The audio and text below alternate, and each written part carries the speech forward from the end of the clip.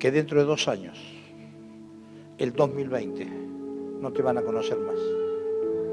No te van a conocer los que te vean, no vas a ser igual. Sí, pastor, tendré más años. No, no, no, no. No, no conocerán más de vos las tristezas.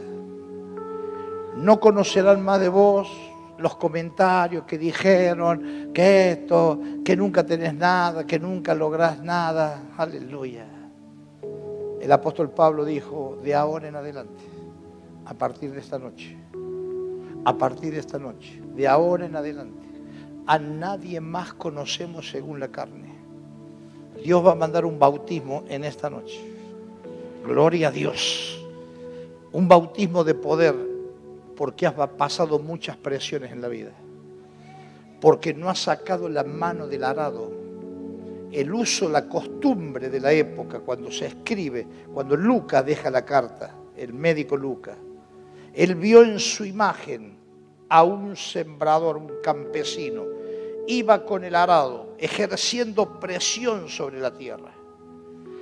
Si ese campesino, ese labrador, miraba para atrás, dejaba de ejercer presión sobre el arado.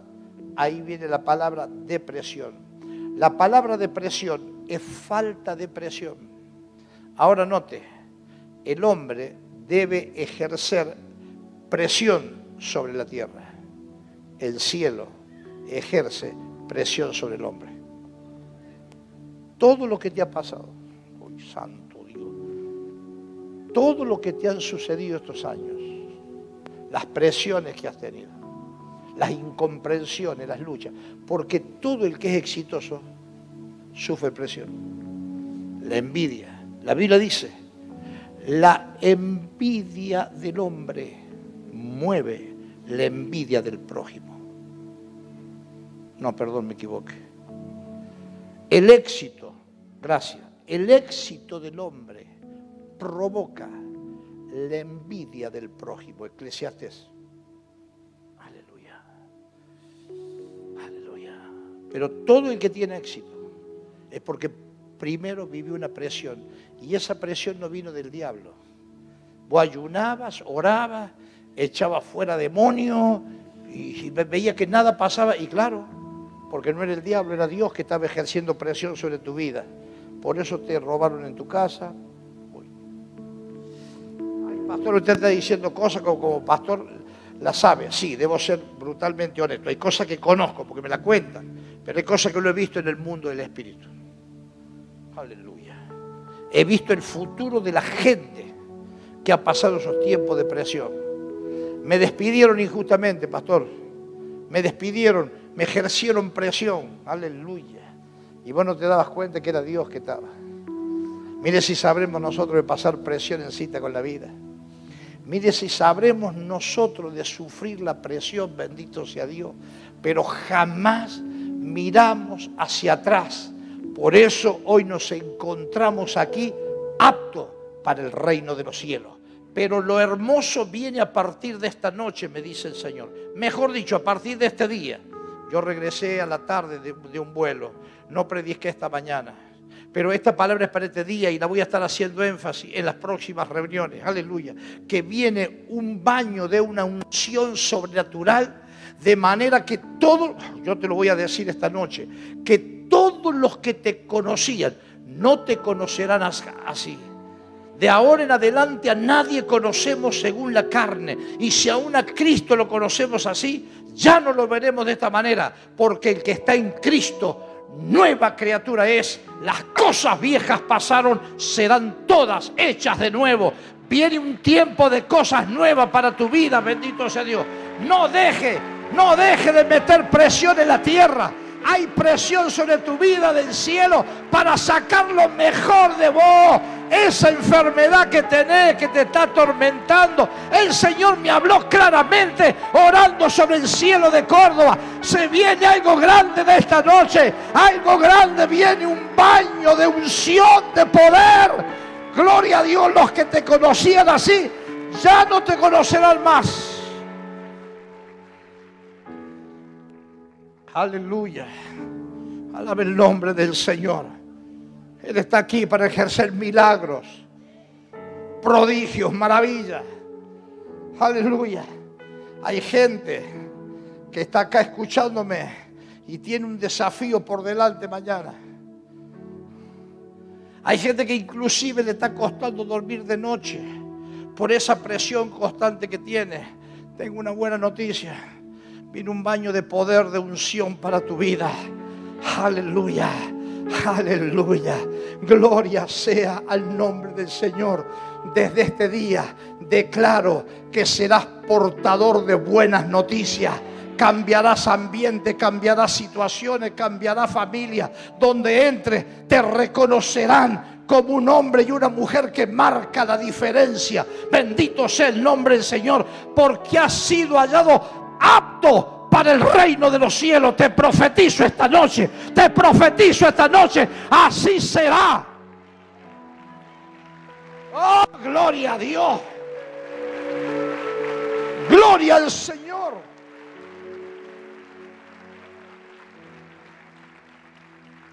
Quisieron marcar tu vida con palabras de condenación.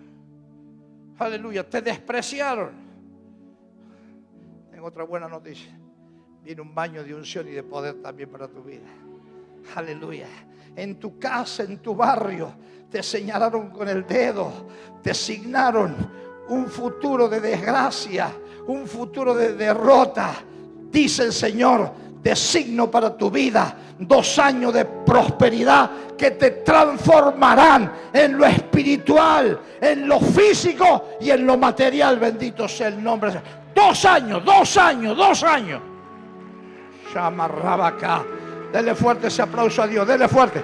Estoy profetizando esta noche. Esta es una noche de profecía, bendito sea Dios.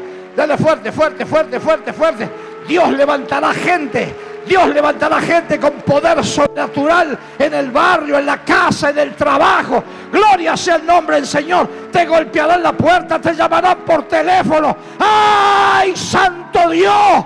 Santo, santo, santo, santo, santo, santo, santo es el Señor. Oh Ramaka. Oh gloria. Oh gloria. Aleluya. Aleluya. Profetizo para los que van, van bien hoy. Equivocados están. Tus mejores días no están atrás tus mejores días están por delante. Dice el Señor, tus mejores días no quedaron atrás. No es que se te pasó, oh, ya estás grande, ya tenés 60 años, ya tenés 70 años, ya no tenés las fuerzas de antes. Mentira, mentira. Nuevas fuerzas vendrán a los que confían en Jehová. Caminarán y no se cansarán, correrán y no se fatigarán, nuevas fuerzas tendrán los que esperan en Jehová, bendito sea Dios, aleluya, aleluya, los mejores días están delante tuyo. Bendito sea el nombre de Dios. Dios es grande, Dios es grande. Aleluya, aleluya, aleluya. Son dos años, dos años, dos años palabra profética, seremos sorprendidos por gente de alta influencia que va a venir a sentarse todos los domingos aquí. Gente de alta influencia, dije, que van a venir acá. Gloria a Dios. Pero lo más maravilloso, en dos años, en dos años, gente nuestra hoy que está peleando el peso, que gasta los zapatos buscando el pan cada día, tengo una buena noticia. Ellos serán influencia de gente de alto nivel. Y como consecuencia, esa influencia, ese influjo divino va a llegar a ellos. Y como llega a ellos, usted será reconocido. Bendito sea el nombre del Señor. Porque ya no te conocerán como hoy, te conocerán dentro de dos años como un hombre y una mujer próspera, bendecida, que tiene palabra para este mundo. Bendito sea Dios. Aleluya. Aleluya. Estoy profetizando esta noche. No sé si vamos a predicar. No sé si vamos a predicar. Estoy profetizando esta noche. Bendito sea Dios. Aleluya. Les quiero hablar a los que creen que se le pasó el cuarto de hora. Aleluya. Es una mentira del diablo. Aleluya. Los que vienen llorando, enjuguen las lágrimas que van a empezar a reír. Hoy el Señor va, va a mandar un bautismo de gozo, de alegría. Aleluya. Seremos llenos del Espíritu Santo. Mire, mire, no van a poder caminar cuando salgan de acá de la unción que va a haber. La gente dirá, esto está lleno de mostos. Lo dijeron hace dos mil años atrás, bendito sea Dios. Dos mil años atrás, a gente que ejerció presión. Eran 500, dice Hechos los Apóstoles. Eran 500. Fueron testigos. Fueron testigos de la ascensión de nuestro Señor Jesucristo. Pero con el paso del tiempo dejaron de ejercer presión y se fueron yendo por sus caminos y quedaron 120 en un aposento alto. Aleluya. Cuando ya estaban sentados, habían dejado de orar ya, estaban cansados. Un judío nunca ora sentado. Dice la Biblia, todos sentados en el aposento alto. De repente sopló un viento recio, de repente, de repente, de repente, de repente esta noche soplará un viento recio, bendito sea Dios, y serán repartidos como lenguas de fuego sobre cada uno de los que estamos aquí. Saldrás a la calle y predicarás el Evangelio y la gente se convertirá de miles, bendito sea Dios. Por eso estamos preparando el templo para diez mil personas. Oh, gloria a Dios. Aleluya, aleluya, aleluya.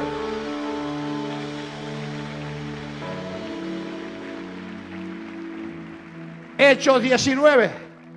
Esos 380 que se fueron, algunos de sus líderes, 12, se encontraron con Pablo, con el apóstol Pablo. Él dijo, ¿habéis recibido el Espíritu Santo? Ellos dijeron, ni siquiera hemos oído.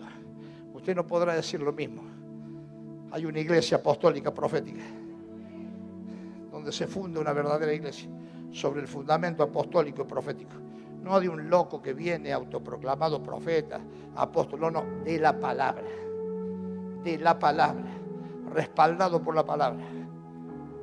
Y le dijeron, ni siquiera hemos oído que hay bautismo en el Espíritu Santo. ¿Y en qué bautismo fuiste bautizado? En el bautismo de Juan. Y, ah, bueno, y, y les puso las manos y todos comenzaron a hablar nuevas lenguas, bendito sea Dios. Aleluya. Aleluya. Serás tan transformado que le vas a hablar a la gente cosas creyentes. Creyentes, son buena gente, no son mala gente.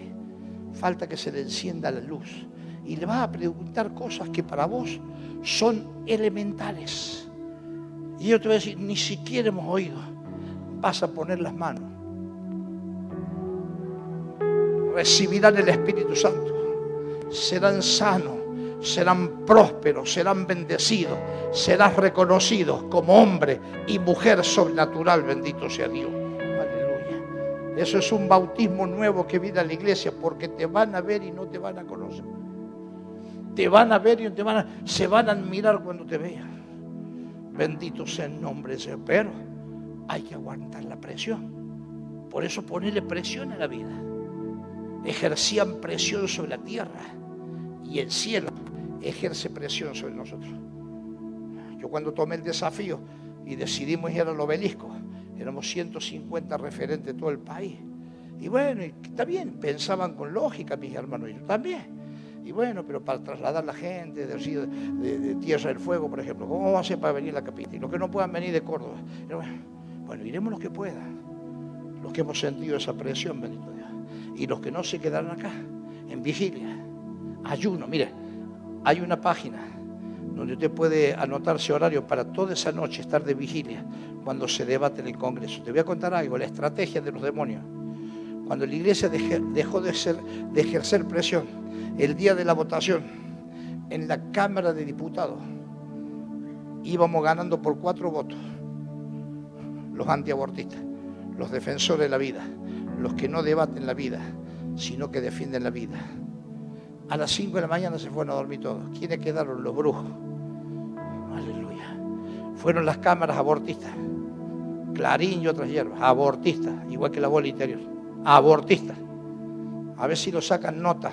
Y siempre las notas que sacan nuestras son todas minimizadas. Usted lo ve, tiene que aprender a ver las estrategias del infierno. En esas, a las 5 de la mañana, una diputada nacional estuvo conmigo en la oficina y ella me contó toda la historia. Me dice, mire pastor, ¿cómo empezaron lo que a mí me ofrecieron? Yo te di el nombre de la diputada y todo, si querés. Le ofrecieron para ella y, su marido un viaje a cualquier lugar del mundo donde quiera ir, todo pago. Le dijeron, a cuenta del Senado, a cuenta de la Cámara, mejor dicho, a cuenta de la Cámara, a donde quieran, todo pago, viático, todo. Aleluya. Y le dijo, no, una mujer llena del Espíritu Santo, diputada nacional por, por Tucumán. Estuvo acá conmigo sentada con varios diputados senadores. No le dijo. Estaban los pampianos al lado de ella. Y ella les vio la cara. Estaban blancos de, de terror porque no soportaban la presión. Y venían, no me acuerdo el diputado, uno que es nombre eslavo judío, Lipotaki, algo así. ¿Cómo? ¿Se acuerda alguien el nombre? ¿Cómo? Si alguien se acuerda, me lo tira, yo lo tiro, yo lo tiro, yo lo digo, ¿eh? No lo digo usted, dígamelo, dice al oído, para que no le ejerzan presión. Aleluya. ¿Cómo? Lipovetsky es, Lipovetsky. Le dijo, pero no, vos tenés que seguir. Dijo, no. Y se los llevó a los, a los de la Pampa, se los llevó al baño. Y en el baño transaron. ¿Cuánto le dieron? ¿Cuánto? 400 millones. Para la provincia. Perdóneme. Serán para la provincia. Algo quedó en el camino. Digo yo, no sé. No digo que sea malo ese. Yo digo lo que hizo, la travesura que hizo por si me denuncia lo voy a negar. Yo no dije que era usted. Yo dije que hizo una travesura. Tuve dos sueños, me falta uno. Dos sueños, cuando yo iba preso a la cárcel. El otro hace cuatro días. Dos veces, a la tercera vez, un sueño es real. Tres veces usted tiene que soñar lo mismo para que sea real. Ore para que no, sueñe nuevo. Para que sueñe una playa en el Caribe, abajo de una palmera con un coco, una mulata, una rubia, una pelirroja. Ya son malos, ya van a andar cuereando después. No, yo aguanto la presión, ¿eh? Pero por las dudas, oren por mí. Así los quiero ver con una sonrisa. Segunda vez que sueño día. Me despierto y no pude conciliar más el sueño. Cuatro y media de la mañana. Digo, ¿qué hago? Me levanto, me voy a orar, leo la Biblia, tomo unos mates, me voy a leer un sentido de angustia. Yo sé lo que sentí la presión de los demonios. Cuando son demoníacos y cuando es la presión del cielo. Aleluya. Por eso nuestra presencia en la calle, ejerciendo presión. Por eso la importancia del viaje. Y los que se quedan, por favor. Acá creo que hay una organización pro, pro vida que van a hacer una marcha. Si quieren ir a colaborar, vaya. Pero sobre todas las cosas, oren, oren, clamen a Dios tenemos la, página donde está la, gente para allá, la podemos poner en la página donde usted puede escoger un horario para orar cinco minutos, toda, toda la noche. ahí está, mira. ¿eh? Ahí puede entrar usted. SOS Argentina. Ahí lo tiene. ¿Cómo, ¿Dónde entra Juan? Cuénteme, cuénteme que usted sabe estas cosas, es un muchacho inteligente. No salió a su padre. Bueno, hemos creado una página web que se llama sosargentina.com, donde le pedimos a los hermanos que se registren para orar cinco minutos Obviamente cada uno orará más en su casa, pero es un compromiso de siete minutos en cualquier momento del día. Del 7 de agosto usted puede entrar a la página y registrarse y formamos una, una cadena continua de oración. Ya tenemos completado todos los, los horarios, están ocupados por lo menos por una persona. Le pedimos que busquen los horarios que menos gente haya, porque dice ya cuántas personas están orando por minuto, así completamos la mayor gente posible. Gracias, Juan. Así todos estamos anoche orando, todo en vigilia, orando, clamando a Dios. Cinco y media de la mañana le dieron vuelta a la botella. Se compraron los cuatro, los cuatro pampianos más otros más y le dieron vuelta a la botella. ¿Cuándo? Cuando se dejó de ejercer presión. Todos los que estaban a favor de la vida dijeron, ya está, vamos. Se quedaron los abortistas, los brujos. Comenzaron a trabajar, bendito sea Dios. Y a hacer lobby. Ahí tienen las consecuencias. Cuando se deja de ejercer presión. Aleluya. Pero tiene que aprender usted eso. Que el que mira para atrás, porque deja de ejercer presión en la tierra, no es apto para el reino de los cielos. Por eso dice Pedro, si el justo con dificultad se salva, si el justo, wow, gloria a Dios. Por eso que tenemos que ejercer presión en oración, en clamor, en ayuno. Gloria a Dios. Y que ellos decidan. Pueden pasar dos cosas.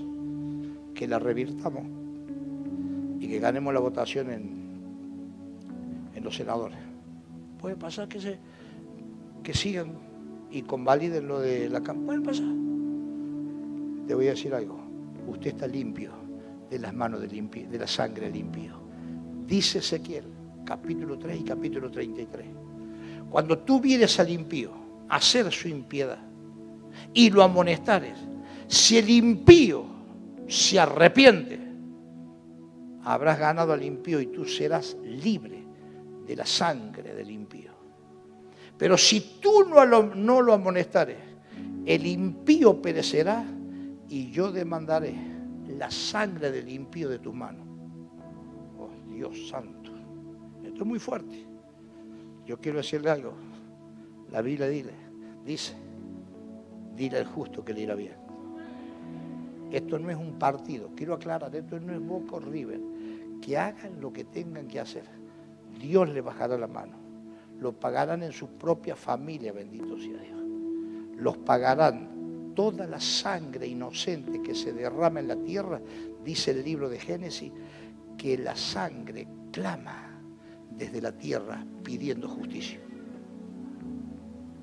Usted será libre, yo seré libre Así que dile al justo que le irá bien.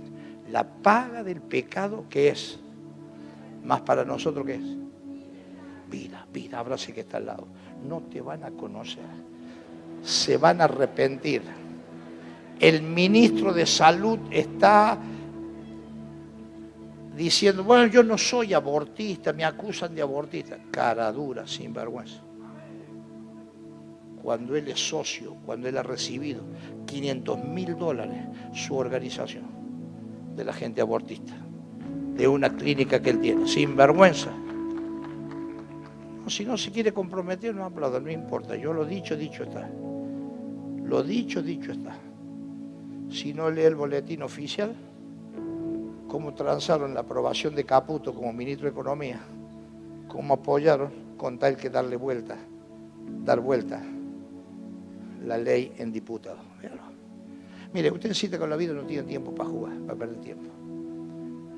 Acá no hay tiempo para jugar, para perder tiempo. Ayer estuvimos peleando por la vida, enseñando cultura, valores a los jóvenes, pero más que eso, dando un ejemplo de nuestras vidas. Se puede hablar, bla, bla, bla, estoy cansado de la gente que habla sin sentido. Bla, bla, bla, bla menos más bla, bla, bla y más acción. ¿Para qué tanto gre, gre, gre para decir Gregorio? Aleluya. Por lo menos en lo que nosotros dependa como pastores, brindar un ejemplo de vida. No somos gente perfecta, pero sabemos lo que tiene precio. Hay cosas que no le puedo contar porque hay menores acá.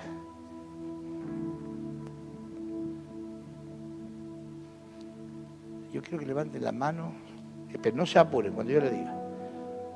Los que son hombres, pero que sienten como hombres y saben las presiones que tiene un hombre. Levanten la mano, no los voy a ver. Bueno, yo le voy a contar un caso. Se aborta un viaje, yo iba rumbo a Miami y nos debían el vuelo a Dallas. Bueno, al lado mío, una señorita la característica llevaba una almohada, muy común en los pasajeros, una almohada. Tiran la mesita de adelante, se apoya la almohada y se pone en esta posición y duerme. La chica iba durmiendo. Yo me dormí. De repente tembló el avión que habíamos aterrizado. Ya llegamos. No, nos habían desviado a Dallas porque había una tormenta, un tornado en Miami. Entonces pasábamos la noche en un hotel. Nos llevaron a un hotel, hermano. Esos hoteles donde van los petroleros. Mamá mía. Usted quiere caminar, no puede caminar arriba de esas alfombras por segundo así.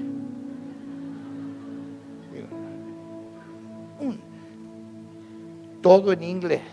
Así que yo con, los radares hacía vi. Y esta chica chapuceaba. Yo en el avión. Cuando ella pregunta, ¿qué pasó? ¿Qué pasó? Digo, creo que nos han desviado y escuché a una señora peruana que estaba del otro lado que estábamos en Dallas. Yo, estaba, en Dallas. Y ahí vi que hablaba, chapuceaba algo de español. Y empezamos a hablar. Y me dice, digo, ¿qué anda haciendo? Voy a visitar a mi novio en Buenos Aires. ¿Y usted qué es? ¿Qué hace? Digo, yo soy pastor evangélico. Ay, y la chica, yo decía, yo cuando era chica iba a la iglesia. Ah, y empecé a hablar. Y teníamos, eh, editaban una revista Cita con la Vida, ¿se acuerdan? ¿Se acuerdan la revista que teníamos o no? Entonces yo llevo una revista y se la regalé. Digo, este es mi esposa, estos son mi hijo. Y empecé a dar testimonio.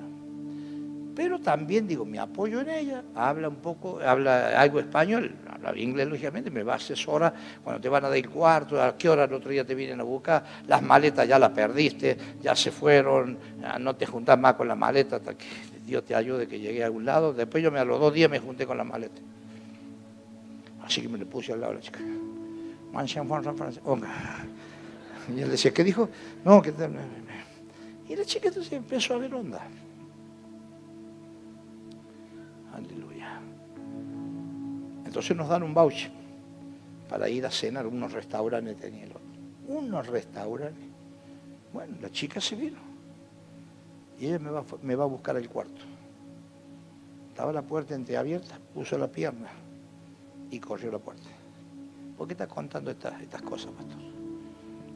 Algo, a alguno le va a molestar, lo lamento.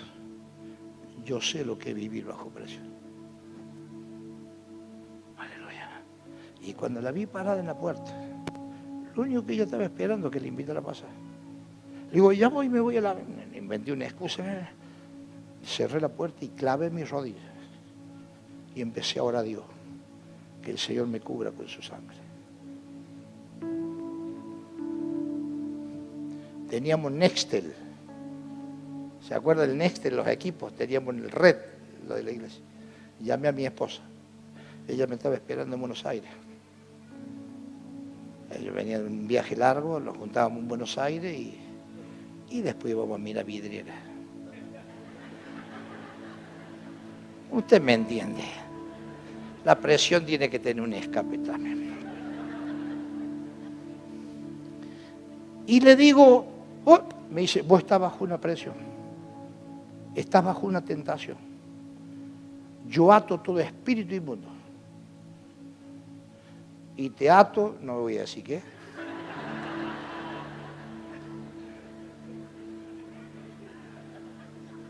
El poder de una mujer que ora.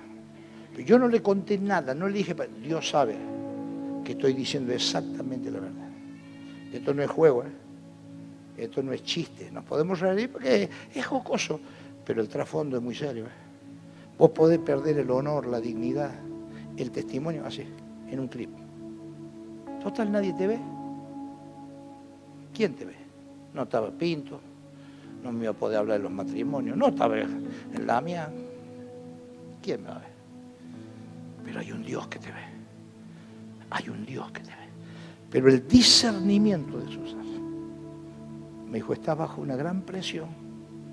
Y esto y lo otro, y me, oró y me ató. Y funcionó. Porque, no, no, no aplaude, no, porque espere, usted aplaude porque sufriera yo. Porque después volví a Córdoba. Y después de dos días digo, loca, desatame, porque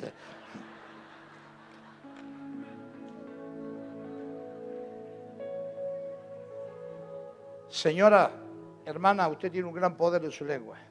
En vez de andar con celos ridículos, será, ¿dónde está? ¿Dónde otro? Ore, presente a su marido ante Dios presente a su marido. Y si es necesario, átelo también. Su palabra funciona, bendito. Se va a desatar cuando con usted. Vamos, vamos. Denle fuerte ese aplauso. El que lo quiera creer, créalo. El que no, rías. Me importa poco. Me importa poco que se ría. Me importa poco guardar la forma. ¡Eh, eh! No te van a conocer más. Porque a partir de ahí, ese día mi fama se extendió por toda Argentina. Anoche me declararon general de los ejércitos de Dios. Dale fuerte ese aplauso. Si yo te contara, aleluya, esta mañana, dale fuerte ese aplauso a Dios. Vamos, vamos, vamos, vamos, Dios está aquí, Dios está aquí. Dios está aquí, hay un baño, hay un baño de poder, hay un baño de poder, pero hay que pasar la presión. Bendito sea el nombre de Dios. Le hablo a los muchachos jóvenes, le hablo a los viejos presentes. Se puede, se puede, se puede para hacer actos en el reino de los cielos.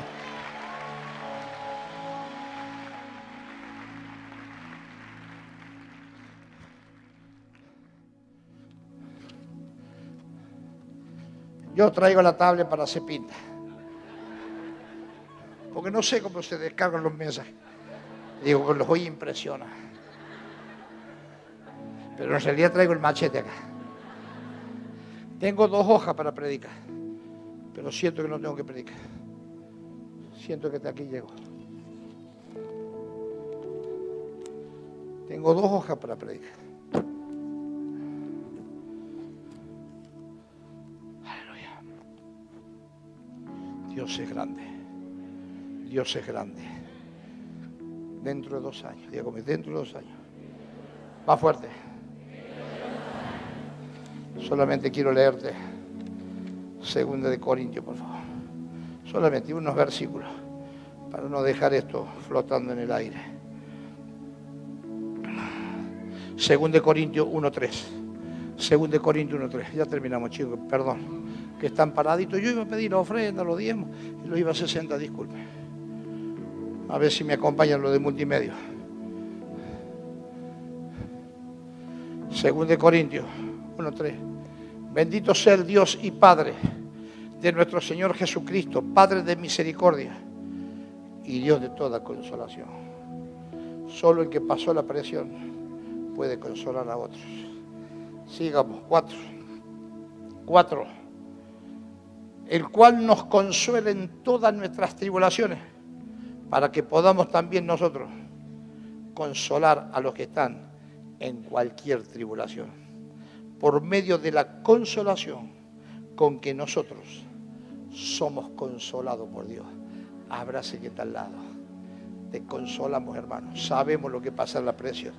Sabemos lo que pasa en la presión. Verso 5, por favor, verso 5. Porque de la manera que abundan en nosotros las aflicciones del diablo, ¿de quién son las aflicciones? Así abunda también por el mismo Cristo nuestra consolación. Claro, para entender al apóstol Pablo, su carácter desafiante, decisivo, determinante y acelerando los tiempos. Usted tiene que entender 1 de Corintios capítulo 15, verso 32. 15, 32, 15, 32. Aleluya. Si como hombre, si como hombre en lo natural batallé en Éfeso contra fiera, ¿qué me aprovecha? Si los muertos no resucitan, comamos, bebamos Total. Mañana moriremos. Yo quiero rescatar esto. Si como hombre, diga conmigo, como hombre, como mujer, en Éfeso, batallé con fiera. ¿Usted se imagina? ¿No es una lucha desigual? ¿Se imagina usted enfrentando un león, un oso hambriento? ¿Se imagina? Claro, para eso tiene que entender cuando él escribe, está hablando de, de, su paso en Éfeso.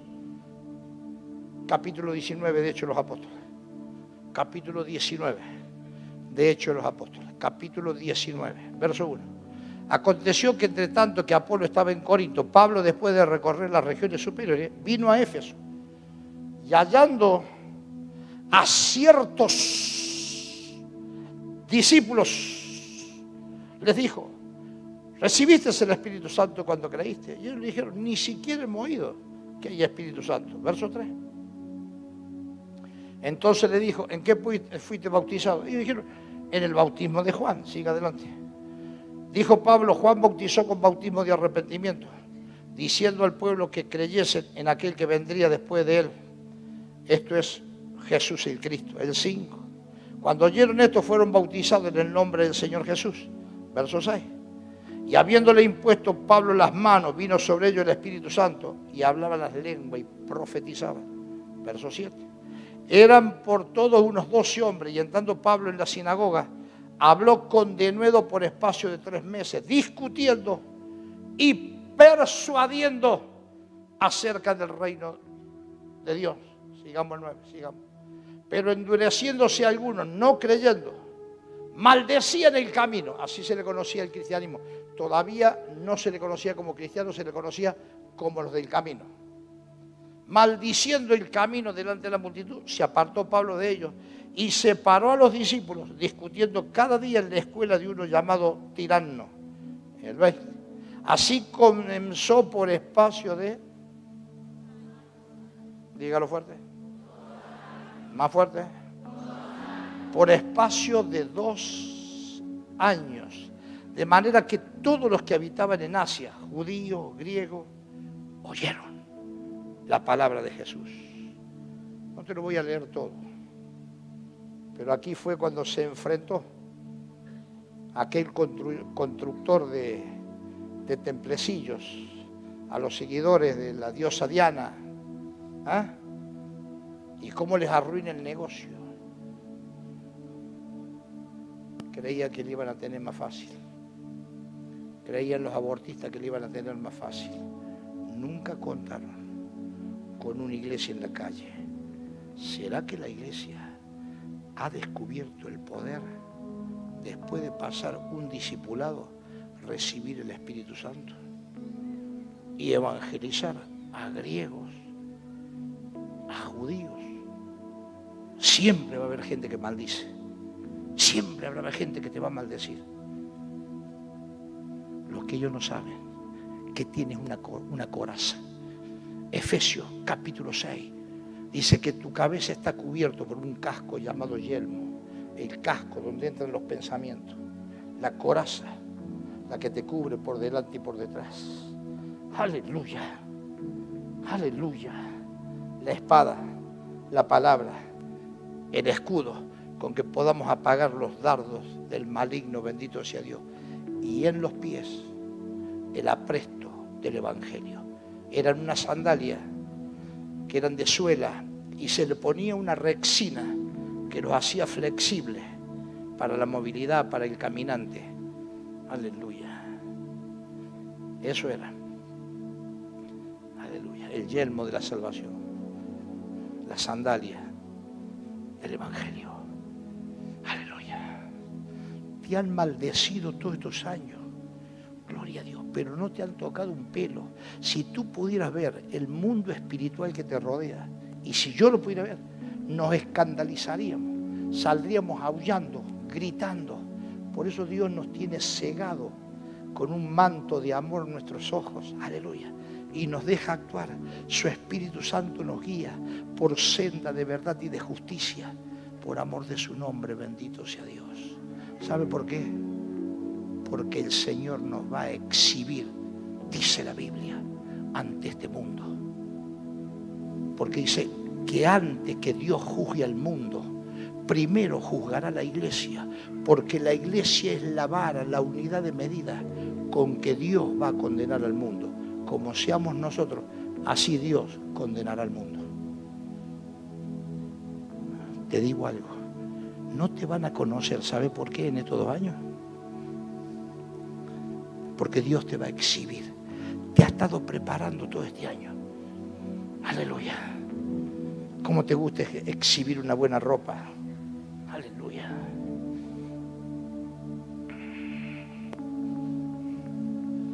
¿Por qué Juancito López alguien no me trae un chal que tengo ahí?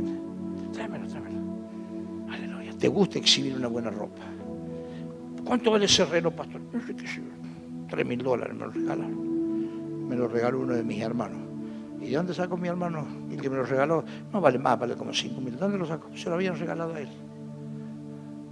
Y él dijo, no puede tener este, mi pastor un Casio, casi, casi da la hora, casi marca los segundos.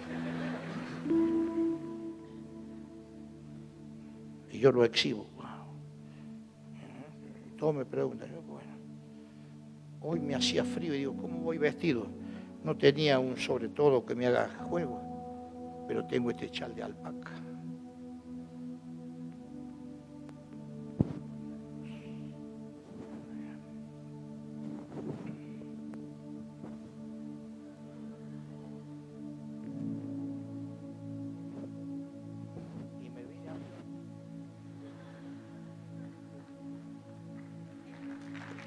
Escuche. Usted exhibe lo mejor que tiene. Usted no quiere andar hecho un cirujano, ¿no es cierto? Porque usted está fuera. ¿Eh? ¿Qué pasa? Acomódame bien. Mira, me están cuereando. Están ejerciendo presión.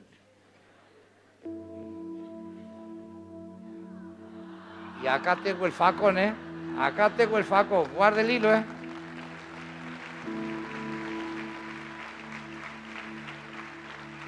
Aleluya. A ver las hermanas, levanten la mano todas las mujeres. Cuando van sus amigas a las casas, a casa a visitarlas. No le gusta la vajilla que usted tiene para servir el té. Vio que usted abre ese mantel que no lo usa nunca y que está duro y está marcado siempre. Y esas servilletas que son de la abuela, son, son bordadas, ¿no es cierto? ¿Ah? Y saca la taza de té y la tetera que no la usó nunca en su vida. Al viejo tiene una, una, taza ahí de lata de, esa que teníamos en la colimba, eso de Y usted exhibe lo mejor. ¿Ah?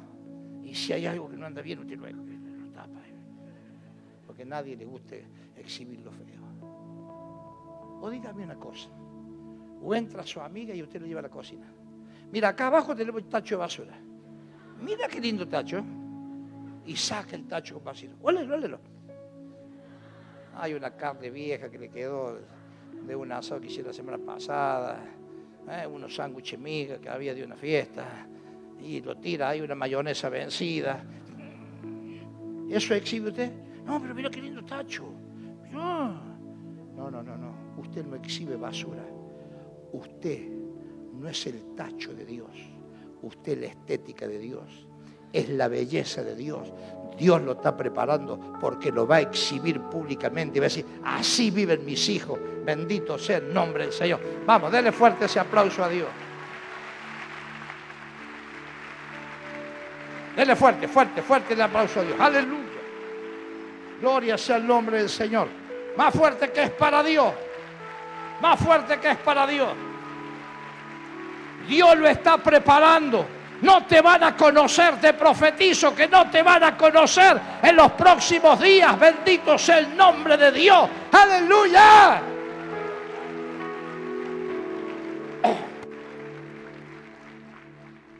¿Cómo no voy a creer en el poder de Dios, a la enseñanza de todos estos años, como Pablo, en la escuela de ese señor que discipulaba?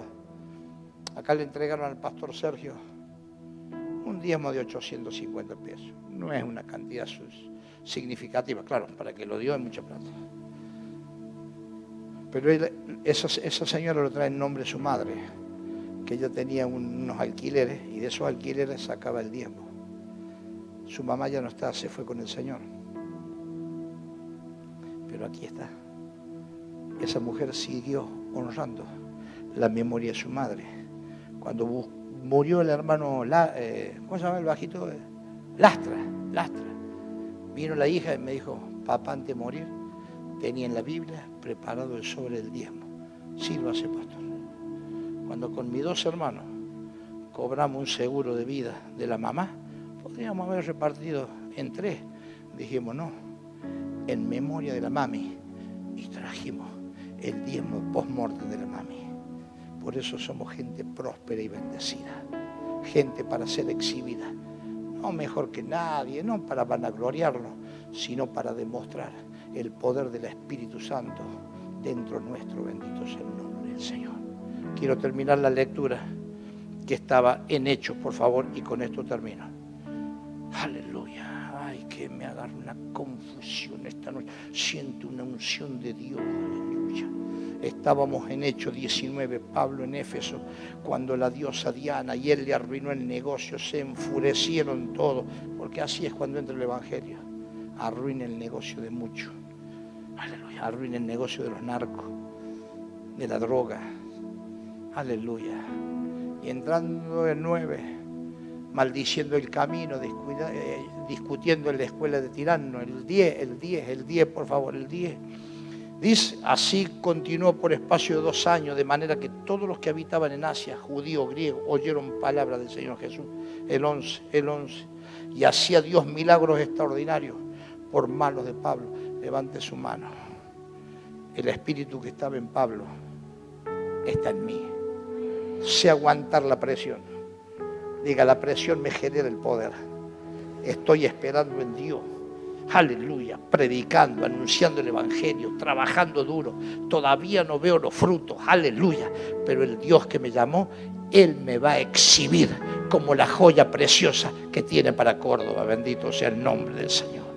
Incline su rostro, por favor.